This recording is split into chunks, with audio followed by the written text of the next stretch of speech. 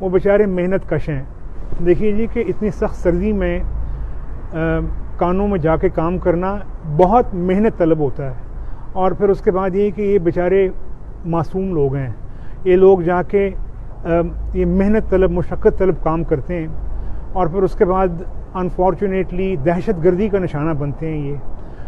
और ये लोग हैं कि जिनको हर पाकिस्तानी का समेत मेरे हमारा दिल चाहता है कि उन्हें गले से लगा लें और उनके दुखों का मदावा करें। लेकिन बजाय इसके कि एक शख्स जो कि पाकिस्तान का वज़ीर अजम है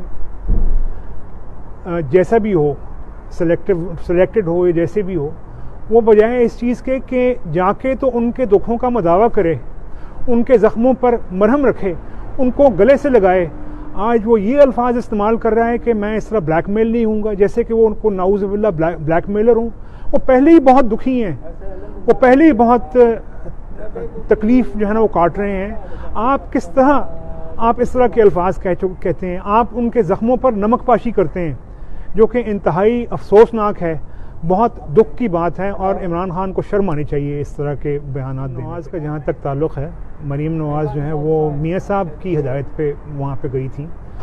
और बेसिकली इसकी जो मेन वजह ये थी कि जो हमारे भाई बहन हैं हज़ारा बरदरी के उनको कम से कम ये इस, आ, आ, बताया जा सके कि हम आपका दो के जो उनका दर्द है वो उन्हीं को पता है कि वो उन, उनको कितनी तकलीफ़ है इस चीज़ की।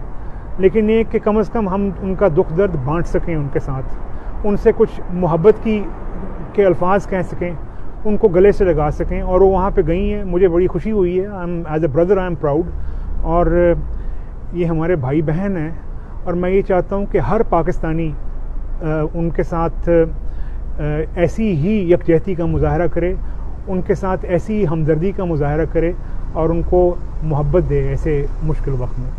मैंने जहाँ तक उनकी जो जो मुतालबात हैं, हज़ारा बरदरी के, मैंने इंटरनेट पर ही पढ़े हैं, वो बल्कि एक हैंड रिटन एक